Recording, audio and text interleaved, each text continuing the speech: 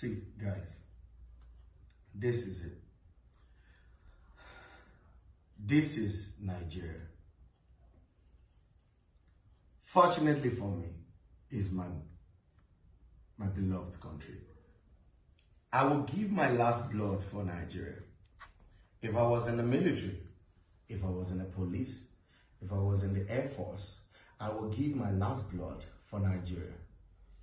This is not a made up word. Do I look scared to you? Am I the scared type? Or do I look like the kind of citizens you bring guns to threaten?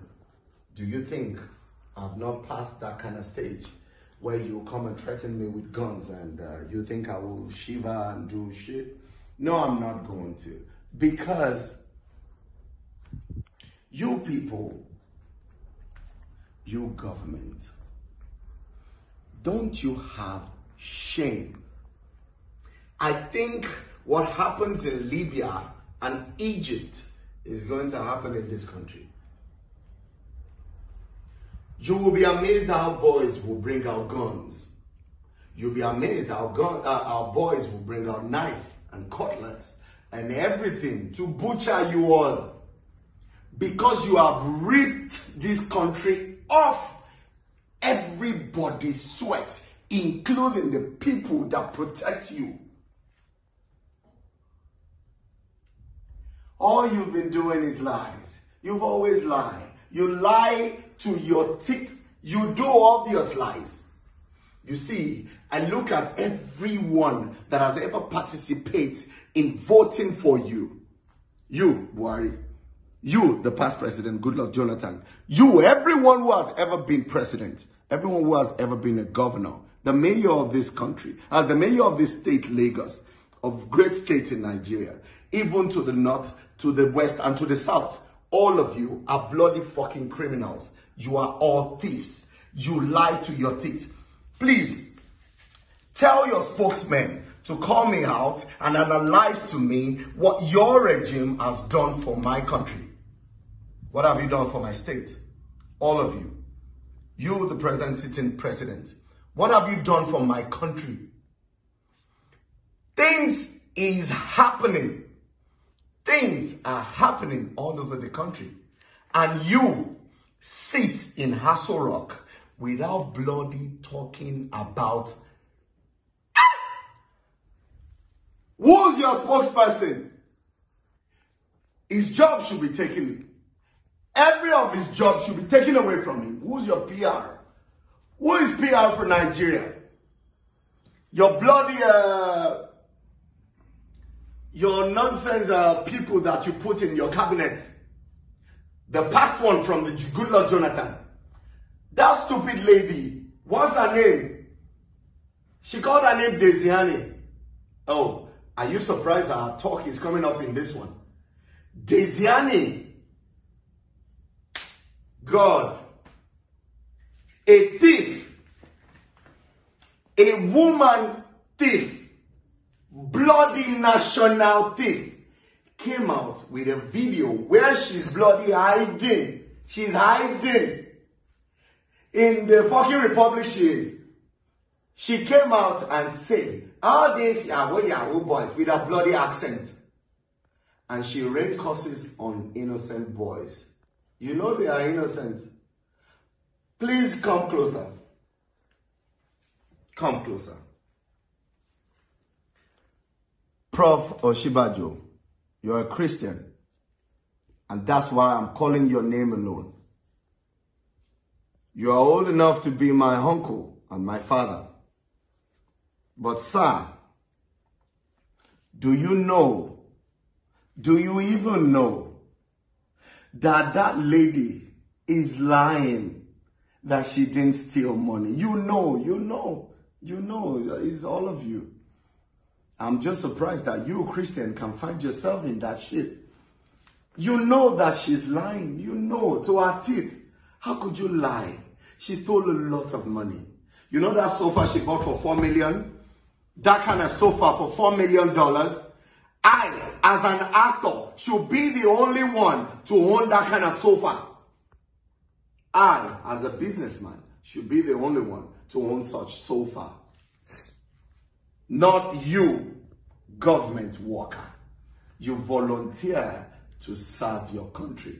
So, if you cannot, if you are not being paid well or you didn't steal money, you can't even afford to buy a 20 million naira apartment, not to talk of your 350 million naira apartment in Banana Island. Not to talk about your sky rise. Not to talk about the diamonds and the golds you people launder and do. And you take every sweat that belongs to the Nigerians. You take it away from them. Now, the people who carry guns behind you cannot even feed their family. The people who does this to protect you can't even feed their family. There was a day I was on the third mainland. Guess what? I was on the Obalende Bridge trying to get to Onikan and there is a straight line, but people are passing that they are making a second row. So I passed the second row and I move forward so that I can join the queue at the front and beg. You know, I'm bloody fucking corrupt actor too. I do stupid things. I manipulate, I take one way. I am. You know why I am? Because you showed me the fucking way. Even you. A local government chairman will carry siren and be blowing the bloody hell out of Nigerians. There was a day one, I'm coming back to my story, but there was a day one did that and I was in the traffic and I got them because the siren was so fucking loud. And I saw, I felt, this is not a motorcade of a president. This is not a motorcade of a, of a senator or a governor.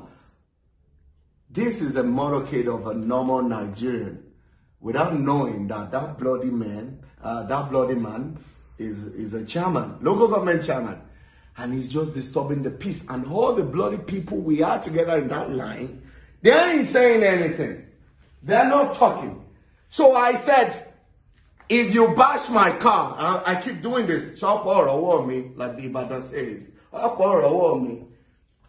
And I bloody doing, I, I keep doing this. I said, if you bash my car, your siren and your gap will not leave here because I will not take it. And the police came and said, are you crazy? I said, Pat, I said, you won't be here, da. Ẹ won't be da.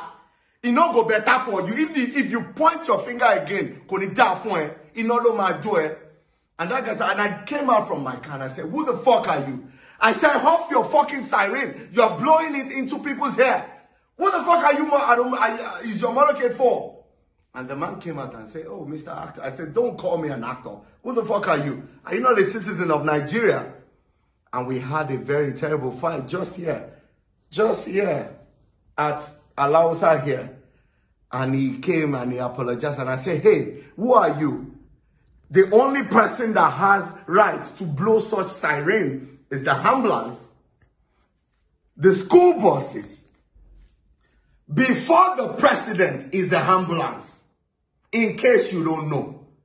Before the president, the only and only way I can go out of this way for you to pass is if the president is approaching the school bus or the ambulance. Those are the three major things I should respect on the road. Not you. Who are you? You're just like me because you're trying to get to a quick way. Because it's the quick way you people use. Without knowing that was the stupid guy I met the, at the airport some years ago that was telling the attendant of the flight, I, I'm not going to mention any flight. He was saying, please be fast. I really need to go. And the woman looked at her and said, if you really need to go, this is the Airbus. I think you should book a private flight a private jet before his brain came down. He's trying to rush again. Ha, you should only then book the bloody jet. Look the bird and fly. Then I got to that bridge, back to my story, and a policeman stopped me. And I said, the only way you can take me to the station or de detain me here is by if you pick that down for going in front. There's a Volvo that was in front of me too. Then there, uh, there is a Volvo and there is a Mercedes Benz in front. So I'm driving a BMW. So the only way, I don't know the people that have gone before me, they are lucky, but the only way you would take me is that you take all this. So those cars are not flashy. Mine was red, wine, I lied. Mine was wine, and uh, you know, uh, I think it's flashy, so they picked me. So when they came in, even the man does not know that I'm an actor, which pleases me because I hate it when they say, "Oh, Baba, and the man said, "Waiting we go do, Oga, because I just want chop. No, be say I want cash, yo. I want, I need money to feed." I said, ah, "But you be police now, they don't pay you." And I carried the lady in my car. And uh, the lady said,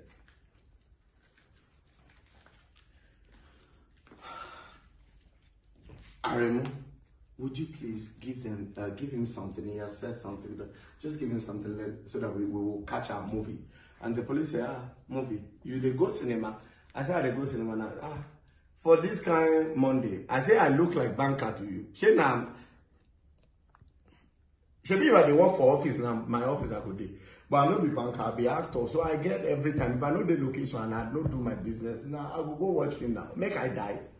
Why dey follow rules? No i no need follow rules now. I no fit die. Then i said okay you know wetin you go do? You sef carry your gun eh? Make we go. Or keep your gun. Make we go. I go pay for your cinema come say wetin is that much be ticket i say thousand one thousand just to see film I say, yes, now. He said, 1,000. Where's I will take cook for us? I said, why you they lie? You these police people. Waiting they make you lie. Because your gun are true now. With that 1,000, and my wife no go vex if I reach house. I said, are you kidding me? He said he's not lying. And guess what? You know you have to, you don't have to go to a detective school before you know, before you can detect that someone is lying or not. I can see it all over him. This guy, body, um, uh, body language his body is even shaking. He's in my car. He has breath issue. He has body, uh, uh, uh, body smell. What, what is it called? He has everything. What do you think? Why should things be like this? I wanted to give the guy 2,000 before. I had to give the guy 20,000. And I'll give him 1,000 to hold. And I'll say, please, Give this 1,000 to your guy when they look you like this. Keep that 20,000. You must call me. This is my number. When you reach us, make your wife tell me, say you give her 10,000. Say, okay, thank you. Say, my husband say, give me 10,000. You must give your wife 10,000 and you must use the 10,000 to find something to eat and all I gave you the money for is just for that food where you mentioned so that your wife will cook good food for you. That guy almost prostrated for me in the car. If that car had a lot of space, he would have prostrated. And I said, no, my brother. I just need you to know that we are the same thing. Osinbajo, Buhari, Aisha Buhari, you know that Diezani stole that money. All the people you've accused of money, you know they stole the money. Why do you have to tell them to build themselves with like